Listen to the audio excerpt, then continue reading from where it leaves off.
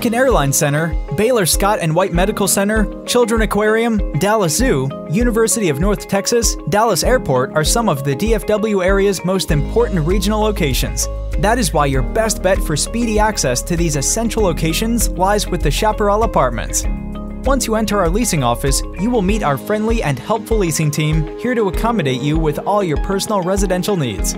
Access to our sparkling swimming pool, sprawling playground, on site laundry services are all at your fingertips.